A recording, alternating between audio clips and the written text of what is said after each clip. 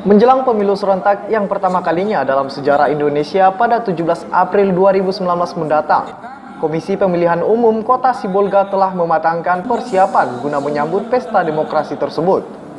Dalam mematangkan persiapan pemilu, KPU Kota Sibolga telah mempersiapkan surat C6 atau pemberitahuan kepada pemilih.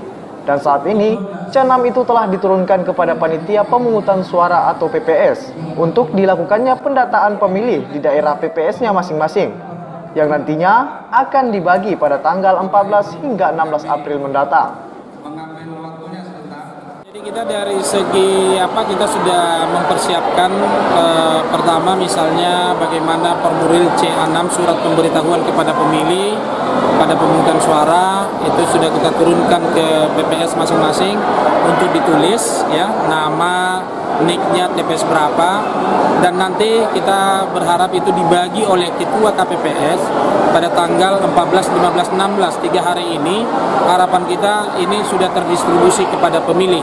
Jadi kami juga berharap uh, pada pusat distribusi Cianam ini baik itu dari pengawas TPS dari pengawas kelurahan ya pengawas kelurahan ataupun pengawas kecamatan ya sama-sama memonitor ya, termasuk juga dari partai politik sebenarnya. Bisa me melakukan monitoringnya ini. Artinya mengetahui apakah sudah terdistribusi atau tidak.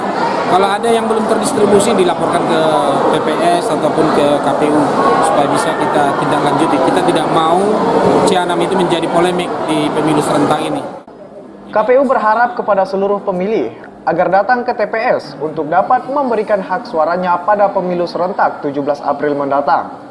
Dan masyarakat yang belum terdaftar di DPT bisa juga memberikan hak suaranya dengan membawa KTP elektronik ataupun surat keterangan dari pihak Disduk Capil Kota Sibolga.